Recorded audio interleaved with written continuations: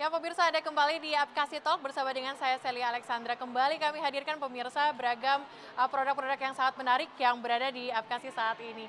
Selamat siang, sudah hadir bersama dengan kami ada Hendrikus Leonard, Leonard yang merupakan BOD PT Dekasari Perkasa. Selamat siang Pak. Ya, selamat siang Bu. Pak Leo, ini kalau saya lihat saat ini, ini Inola. Inola ini sebenarnya apa Pak? Uh, Inola ini merupakan sebuah merek dagang daripada perusahaan kami PT Dekasari Perkasa uh, ya, yang merupakan produsen dari furniture atau uh, mebelware gitu, yang bergerak uh, di bidang proyek-proyek uh, uh, pemerintah ataupun swasta. Gitu. Oke, apa yang menjadi keunggulan dari Inola Pak? Uh, keunggulan kami pertama adalah jelas kami merupakan uh, profesional di bidangnya, di bidang uh, produsen furniture tentunya dengan peralatan, dengan mesineri, dengan mesin-mesin dan SDM yang sudah terstandarisasi. Dan uh, yang kedua, kami punya pengalaman uh, untuk menangani proyek-proyek baik swasta ataupun uh, pemerintah dan khususnya kepada pemerintah karena 99% klien kami itu proyek pemerintah, Ibu. Oke, okay. berarti rata-rata pemerintah Indonesia tuh ngambilnya dari dari nol lah ya Pak, begitu? Ya saat ini karena rentang daripada op operasional kami sudah cukup lama, sekitar hmm. kurang lebih 30 tahun ya cukup banyak Bu. Jadi dari Sabang sampai Merauke, uh, daerah tingkat satu, tingkat dua, ataupun daerah ataupun institusi kementerian itu ya saat ini cukup banyak lah bisa dikatakan. Oke, furniture apa yang biasanya disuplai Pak?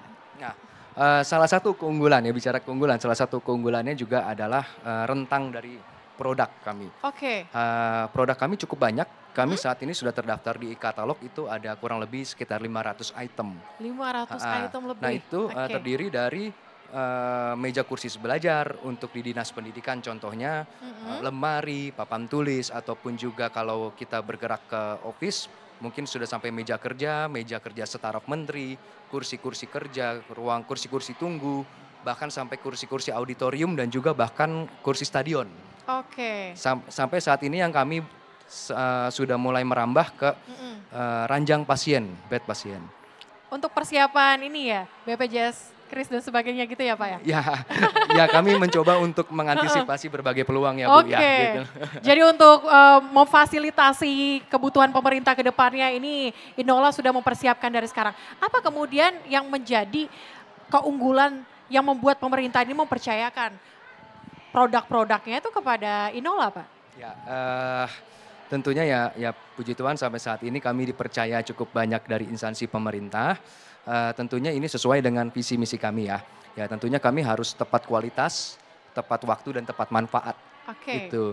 Jadi uh, proyek pemerintah itu punya rentang waktu yang pendek, kuantiti yang uh, banyak dan juga kerumitan-kerumitan tersendiri.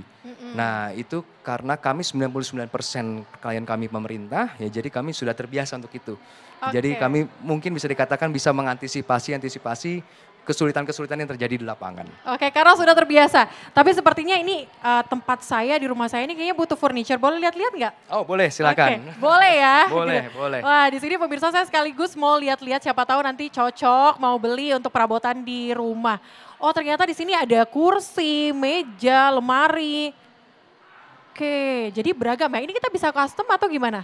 Uh, kita bisa custom. Oke. Okay. Uh, kita sebetulnya mengikuti ya Bu ya dari mm -hmm. apa uh, perkembangan uh, sistem pengadaan pemerintah.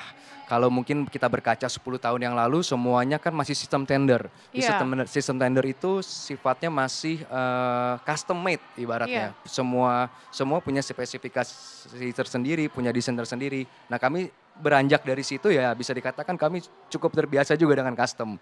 Oke, tapi produk unggulannya apa nih? Kan di sini saya ngelihatnya ada lemari, hmm. ada meja, kursi, berbagai rak-rak dan sebagainya. Yang paling unggulan, yang paling dicari oleh pemirsa masyarakat apa nih Pak? Uh, saat ini kalau uh, dari kita melihat dari ini ya apa -hmm. jumlah penjualan ya. Penjualan iya. Ini memang saat ini yang paling banyak itu ada di meja kursi siswa. Meja kursi siswa. Iya, meja kursi belajar. Okay. Itu yang paling banyak. Oke, mungkin ini sekaligus untuk mempertambah infrastruktur dari pendidikan di Indonesia ya. ya Tapi betul. apa kemudian yang menjadi harapannya nih? harapannya apakah Inola ke depannya akan menjadi semakin dipakai oleh seluruh masyarakat Indonesia atau seperti apa? Ya, uh, tentunya pertama uh, kami berharap supaya tentunya kami bisa tetap eksis ya, ya. di apa di pasar pemerintah atau bahkan pasar nasional, pasar nasional swasta ataupun bahkan pasar internasional. Ya, tentunya uh, kami saat ini memang masih fokus di nasional. Oh, berarti belum ekspor ya Belum ekspor. Okay. Tapi tentunya uh, ini juga sudah menjadi suatu agenda daripada manajemen mm-hmm. untuk next time kita akan coba untuk ekspor gitu. Oke okay, Pak Leo terima kasih banyak sudah bergabung bersama dengan kami di Apkasi Talk pemirsa. Dan kami masih akan hadirkan pemirsa beragam dialog menarik lainnya. Dan tunggu saja pemirsa sesaat lagi kami akan hadir.